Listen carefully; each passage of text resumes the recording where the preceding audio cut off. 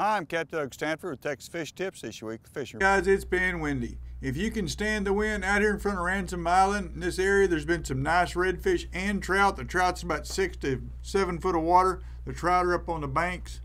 Uh, but croaker's been the ticket. Uh, cut menhaden up on the banks for the redfish. Okay, guys, out in front of Traylor Island, all through Big Cut, all down through here. If you're a wade fisherman, great because you can throw croaker and get you some nice trout about chest deep water. Uh, but up on the banks is where the redfish are. But you get out there in a boat, it's so windy, you're going to be get beat up. But be careful out there. There's a lot of boats out there for Memorial Day weekend. Okay, guys, over in Allyn's Bight, right up in this area is good fishing, wade fishing. The water clarity is still looking pretty good, even though all this wind. Uh, croaker seems to be the ticket. You can also do your artificial for the trout.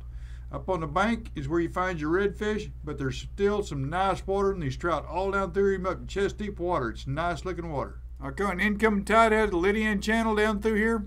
Uh, up on the bank, wade fishers doing pretty good with croaker for trout. Also, if you'll get back here in the Lighthouse Lakes, back in here, the shallow water, it's now deeper water with all this water, high tides.